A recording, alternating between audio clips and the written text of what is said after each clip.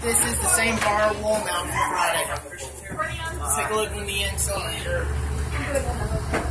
Looks sturdy in there. Looks sturdy. I think the filter hasn't been changed for years or months. I'll be right back.